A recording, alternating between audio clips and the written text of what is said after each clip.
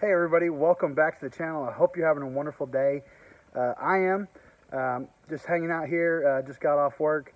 Margot's back there running around. The roosters are over there doing what they do best, uh, interrupting me pretty much every time I try to say something. Um, it's about the... I swear, those guys know when I'm talking and they just like interrupting. Uh, but anyway, I hope you guys are having a wonderful day, like I said. And uh, today, I got some big news for you guys uh, I'm going to be a father. Um, and I'll get into that here in a bit. But first, there's some things we need to do around the farm. But I got a old pen over here that I'd like to mess with. We're going to take that out today, and uh, we're going to see if we can't uh, clean it up. We're going to see if we can't clean up that pen and um, make sure there's nothing that needs to be uh, fixed on it, and uh, just see uh, what kind of shape it's in and uh, let's go check that out. Margot.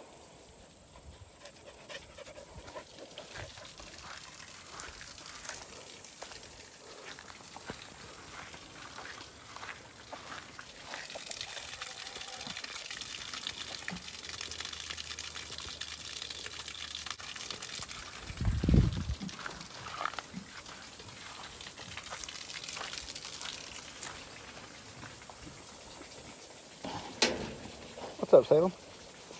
Hey, what's up, buddy? What do you know? Margot? Gotta get some more fresh water in here for the pigs. Looks like uh, we had a pretty warm day out today and looks like they got dried out a bit. Oh, wow.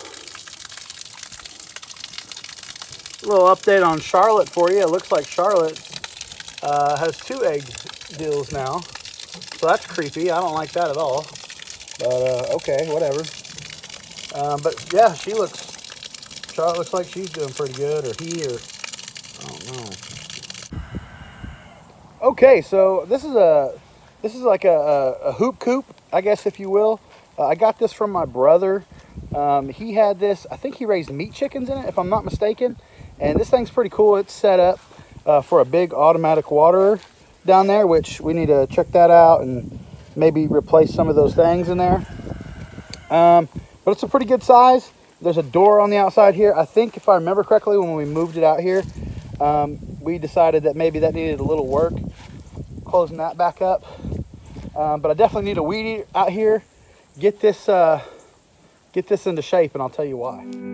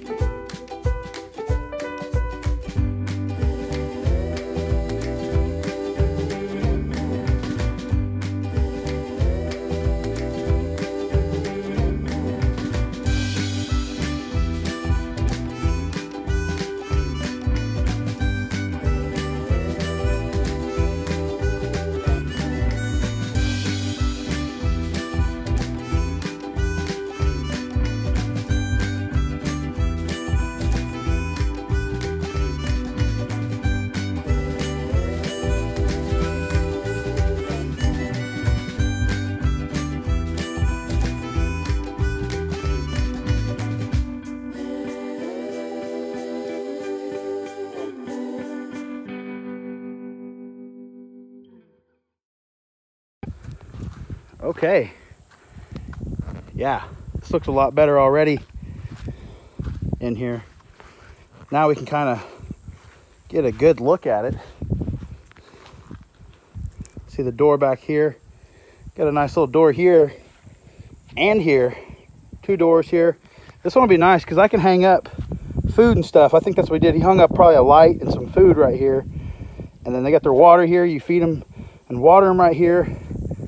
And then if they were bigger enough and you had another uh, place for a, a run, you could actually let them out into a run down there. Um, but I can tell already that the door, this part's gonna need some work. Uh, not a lot though. I mean, we could probably just replace that whole thing or just fix this one. Yeah, as you can see, that door is just a little messed up here. And uh, we'll take care of that. We'll fix that up. Uh, we'll either reuse it or we'll get something else. Another piece of board or something. Uh, but I can't wait. I think this right here is going to do great for what we need it for. So this is why we're going to be working on the coop, getting it ready. Check this out, guys. Uh, I bought a incubator that hopefully um, these eggs hatch. Check this out this thing, push of a button. That is the uh, automatic uh, rotator um, test button.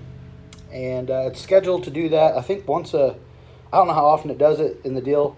Um, these temperatures are good. That's good, 99.5. Uh, that, that humidity needs to go down somewhere between like, I think it was 45 and 55 degrees.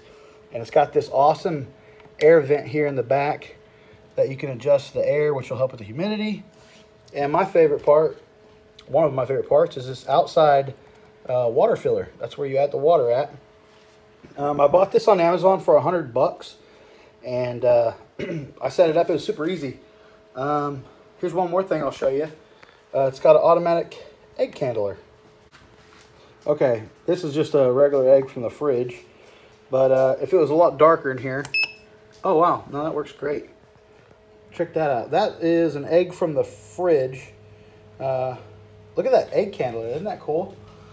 Um, yeah, just uh, all you got to do is push this minus button one time and it turns on that light. I think that light will stay on for up to like four minutes at a time. Um, but wow, that's that works really good. It's not even dark in here. Let me see what it looks like. Oh yeah, much better. That's cool. So I can't wait to bring you guys along this journey with these eggs. Um, hopefully in a week or two, uh, we'll check them. We'll candle them just like this. And uh, we'll be able to hopefully see some progress in these eggs. Uh, the incubator I got here, uh, it holds 12. Um, like I said, this is about, I think it was about $96 after tax on Amazon Prime. Uh, I just looked up uh, egg incubators and I found this one. And like I said, the things I loved about it was the clear dome round, um, the easy out outside filler, the automatic uh, egg candler and the uh, automatic rotator. I know some of them you can buy, you have to rotate them manually. And uh, this thing is just great. It's got everything's display option. You can change it all up.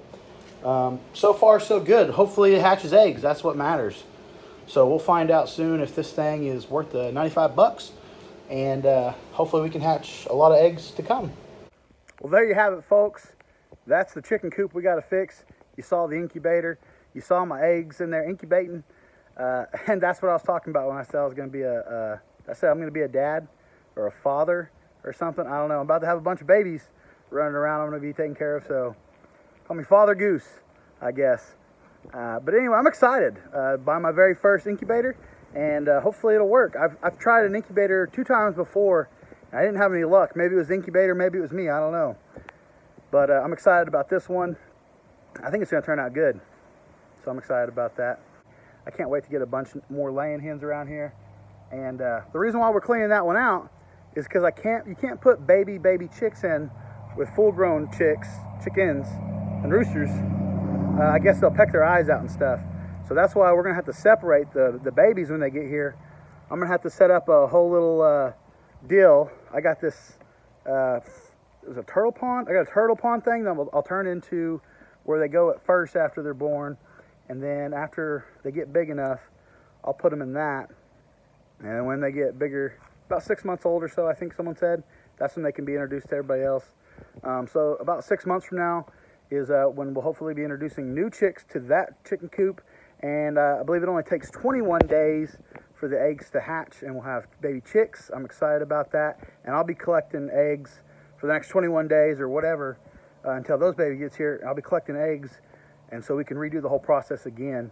And hopefully hopefully we end up with a bunch of uh, babies. Hope up a bunch of laying hens. That'd be awesome. So guys thank you so much for watching. If you're not already subscribed please subscribe and hit that notification bell so you won't miss any of our videos. Um, I'm about to get off here and go to the lake. Margo. Take Margo to the lake. Go fishing go swimming. I don't know. Just go out there and hang out. Um, get out of this sun. I know that. So guys I uh, hope you have a wonderful day and we'll catch you on the next video.